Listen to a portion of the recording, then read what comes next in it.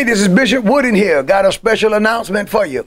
This evening, by 7 p.m., I will have out at least three segments on uh, my thoughts concerning the upcoming debates that will take place at 9 p.m. tonight between uh, uh, Hillary Rodham Clinton and Donald J. Trump. And it's going to be an interesting debate. But listen, my friends, you know, uh, there's been a lot of talk going on about uh, uh, a, a, private conversation that Donald Trump had 10 years ago when he was a registered Democrat at the time, um, uh, with some guys on a bus saying some things that uh, just certainly doesn't sound good.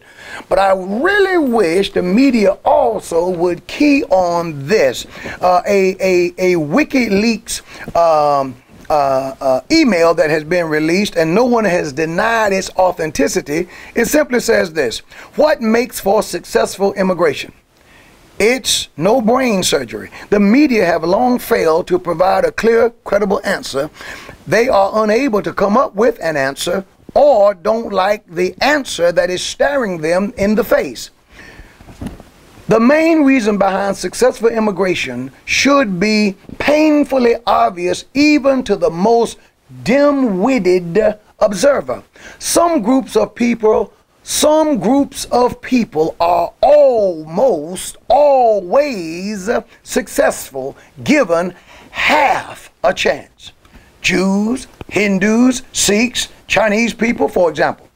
While others, Muslims, blacks, fare badly almost irrespective of circumstances. The biggest group of humanity can be found somewhere between those two extremes. The perennial overachievers, Jews, Hindus, Sikhs, Chinese people, for example, and the professional ne'er-do-wells, blacks and Muslims. This email was written by Hillary Rodham Clinton. And uh, uh, I just wish uh, that uh, the media, when they would cover things, that they would talk about uh, everything that's out there. Now, my friends, I can't tell you who to vote for. Vote any way you want. Uh, you have that right. Make sure you vote. Make sure you vote. But I will say this. I do not believe that African Americans are professional ne'er-do-wells. And to group us in that group, um, that is that is just something that I, I thought you would uh, uh, would want to know. I love you. By 7 p.m. tonight, tune in.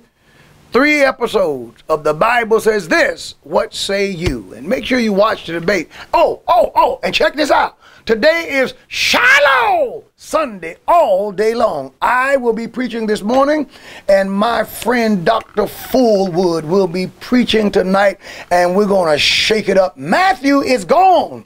The sun is shining. I can see clearly now. The rain is gone. It's a bright, sunshiny day. Come on out and worship with us. I love you. I love you.